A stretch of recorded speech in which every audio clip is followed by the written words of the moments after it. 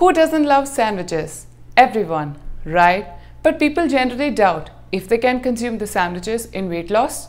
The answer is sure you can.